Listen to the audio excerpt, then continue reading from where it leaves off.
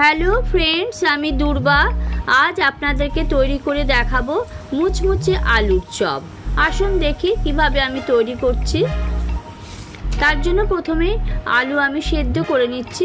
আলুগুলোর আমি চোকা ছাড়াইনি আলু চোকা সমেতে আমি সেদ্ধ করে নিলাম। আপনারা চাইলে চোকা ছাড়িয়ে নিতে পারেন। তবে আলুর এই চপ কিন্তু চোকা সমেত করলে খুব টেস্টফুল হয়। তারপর দেখুন কড়াইয়ে তেল নিয়ে নিলাম। তারপর চারটে শুকনো লঙ্কা নিয়ে সেটা একটু ভেজে নিচ্ছি। তারপর তুলে রেখে দিলাম। দেখুন ফ্রাই হয়ে গেছে। এরপর একটু পেঁয়াজ কুচি দিলাম।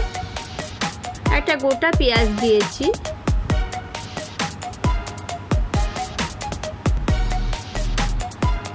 পেঁয়াজটা একটু ভাজা হয়ে গেলে এতে আদা আর রসুন একসাথে আমি পেস্ট করে রেখেছি, সেটা দিয়ে দেব।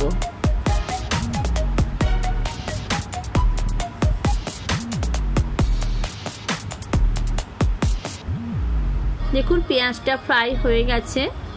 এরপর আমি আদা, রসুন পেস্টটা দিয়ে দিলাম। এই আদা, রসুনটা দিয়ে এবার একটু ভালো করে আমি এটাকে ফ্রাই করে নেব।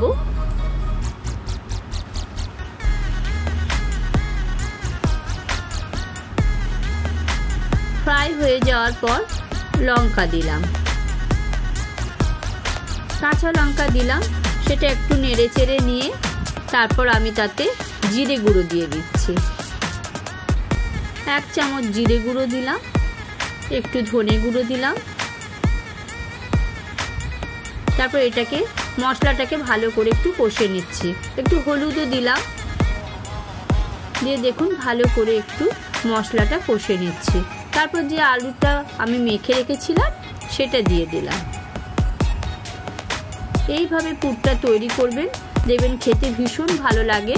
এতে একটু নুন দিলাম।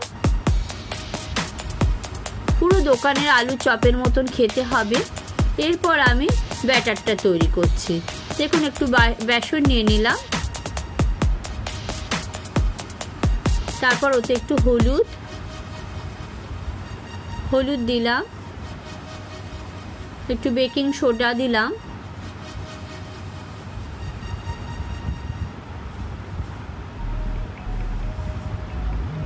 এরপর একটু নুন দিয়ে দিলাম। আপনারা চাইলে এতে একটু লঙ্কা দিতে পারেন। তারপর ভালো করে ব্যাটারটা তৈরি করছে। দেখুন, এইভাবে মিশিয়ে নেবে। তারপর অল্প অল্প জল দিয়ে ব্যাটারটা এইভাবে তৈরি করতে হবে। খুব বেশি পাতলাও হবে না, আবার খুব বেশি ঘনও হবে না। দেখুন, এইভাবে করবেন।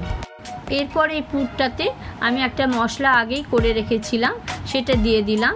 এই মশলাতে পাঁচ ফোড়ন, গোটা জিরে, ধনে আর শুকনো লঙ্কা একসাথে ভেজে আমি সেটা ডাস্ট করে রেখেছিলাম, সেটা এখন মিশিয়ে দিলাম।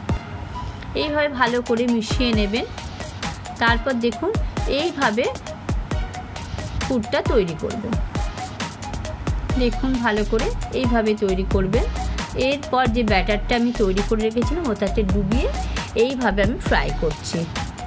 দেখেই বুঝতে পারবেন ভীষণ মুচমুচে হয়েছে এই চপগুলো যদি ভালো লেগে থাকে রেসিপিটা, তাহলে লাইক শেয়ার আর সাবস্ক্রাইব করে দেবেন বন্ধুরা। আবার কোনো নতুন রেসিপি নিয়ে দেখা হবে। বাই